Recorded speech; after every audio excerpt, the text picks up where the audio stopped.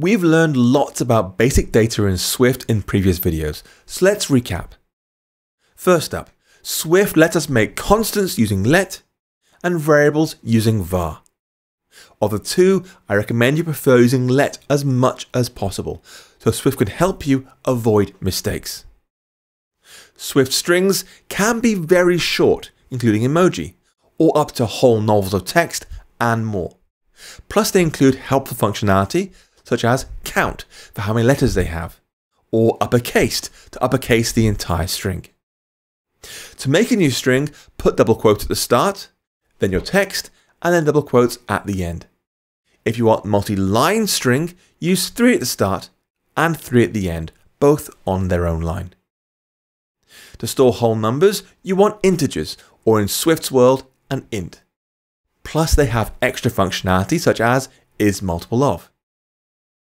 If you want decimal numbers, you want double, short for double length floating point number. These things are really good at storing decimal numbers, but are not 100% accurate. Please don't use them for storing things like money, for example.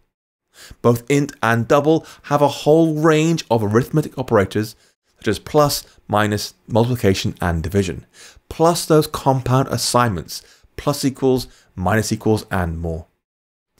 You can store a simple true or false using booleans or bool. Plus it has things like toggle and a not operator to flip between true and false automatically.